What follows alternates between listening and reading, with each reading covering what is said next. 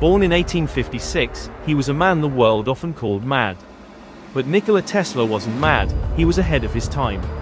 A mind that dreamed in lightning and saw inventions before the world was ready.